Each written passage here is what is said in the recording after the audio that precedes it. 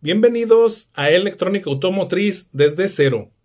En este video veremos cómo conectar cada cable de un auto estéreo. Aquí tenemos el estéreo y en la parte de atrás vienen los cables que vamos a conectar. Ah, aquí están.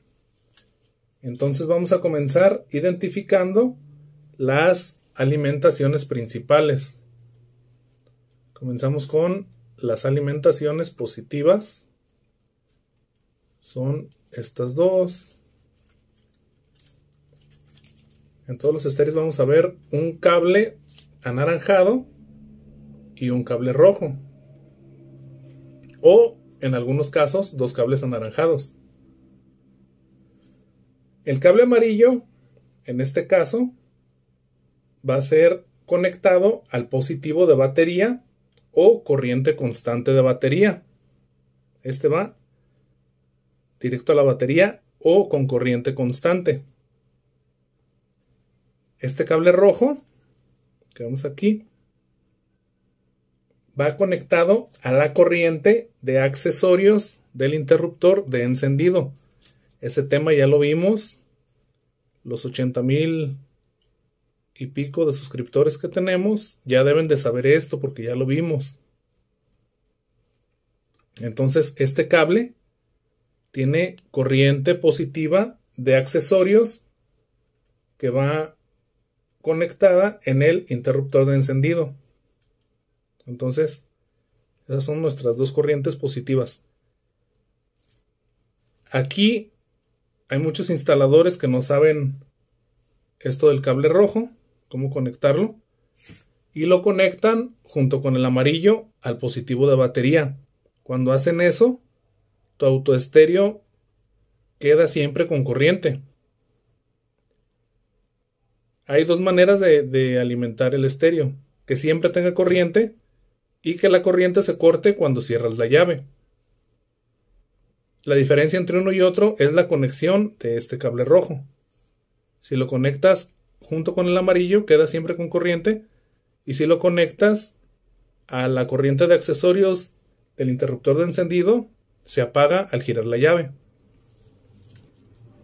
Seguimos con el cable negro. Este cable negro va a tierra, a negativo de batería o como le conozcan. Este va al poste negativo de la batería o en su defecto algún tornillo que tenga una buena tierra de chasis. Y ya, ya cubrimos nuestras alimentaciones principales. Ahora el siguiente cable es un cable azul con una línea blanca. Este tema de los cables del, de los colores de los cables automotrices, ya lo vimos también.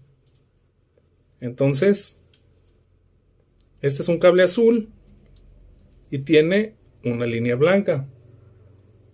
Este cable se conecta para que funcione la antena eléctrica o también se utiliza para el control remoto del amplificador. Entonces, ahí llevaríamos ya cuatro cablecitos.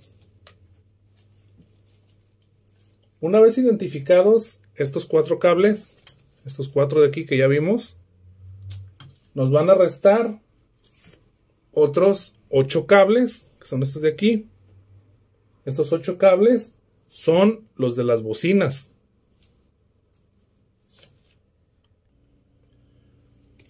Bueno, estos ocho cables, los dos cables verdes son de la bocina trasera izquierda. Verdes es la bocina trasera izquierda. Entonces, el cable verde que tiene una línea negra, ese se va a conectar a negativo.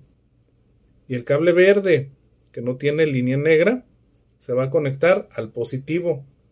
¿De dónde? De la bocina trasera izquierda. Seguimos. A continuación siguen estos dos cables blancos. Estos dos cables blancos son los de la bocina delantera izquierda. Igual, siempre el cable que tiene la línea negra va a ser conectado al negativo y el que no tiene línea negra, que es este, se va a conectar al positivo. Tenemos otros dos cables que son de color morado o púrpura, como le conozcan.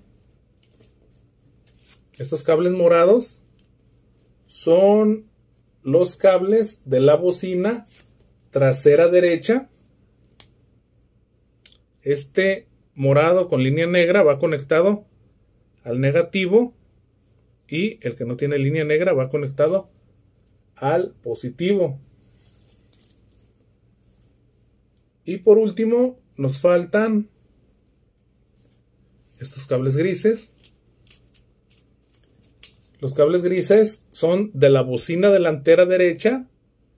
El que tiene raya negra, que es este, va conectado al negativo de esa bocina. Y el que no tiene línea negra va conectado al positivo. Algunos estéreos tienen, tienen más cables de diferentes colores. Pero si ustedes en esta conexión nada más tienen estos cables y acá vienen más, lo único que van a hacer es cortar y aislar para que no haya algún corto. Si tu estéreo de repente está funcionando normal y se apaga, esa es una falla porque se fundió el fusible. El fusible se encuentra aquí abajo. Es un fusible de 10 amperes rojo. Vamos a... Cuando tienen esa falla lo que deben hacer es cambiarlo nada más. Y lo que hacen en esos casos es quitar este conector, retiran este fusible, que es un mini fusible tipo cuchilla, lo van a revisar y si ven que está abierto, lo van a cambiar por otro exactamente igual. Rojo de 10 amperes. Fusible tipo cuchilla. Es mini fusible. Lo ponen igual. Y conectan todo como estaba. Y si nada más era eso, ya va a volver a funcionar tu estéreo. Entonces, por mi parte, sería todo. Suscríbanse al canal y nos vemos hasta otro video.